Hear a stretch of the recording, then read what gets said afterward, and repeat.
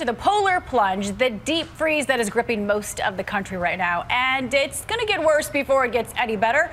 Meteorologist Rob Marciano, who's on the set of ESPN's College Game Day, joining us this morning from Tuscaloosa, Alabama. Rob, can you even hear us right now?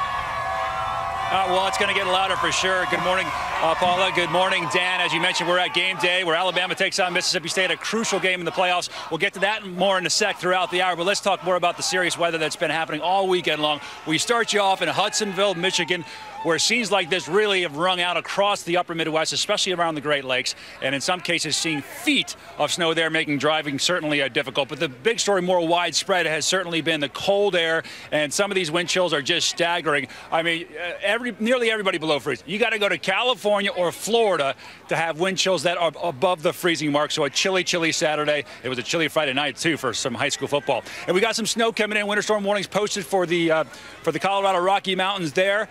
Uh, over a foot in some spots for the ski resorts. They're loving that. And that disturbance rolls into the plains. Should be mostly a light event, but uh, it's going to stick around. Why?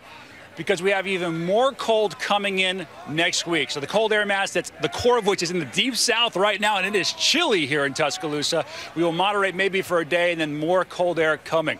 But it is a great day for college football, and these fans have been camped out all night long, and they are ready to go. They are going to get fired up for, we've got all sorts of surprises coming at you throughout the hour here at Good Morning America, live from Tuscaloosa.